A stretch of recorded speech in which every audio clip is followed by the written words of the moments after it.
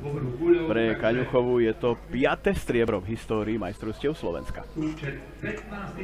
A teraz Martina Hrašnová. Podarí sa aj prvý 70-metrový hod roka.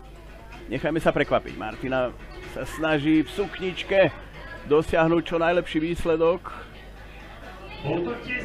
Výborný pokus, ale bude sa merať, je tam biela zástavka, tak si počkajme, či padne tá 70 Prvý raz tento rok pre Martinu Hrašnovú. Zatiaľ 70 metrov ešte nehodila v roku 2. A podarilo sa 70-71.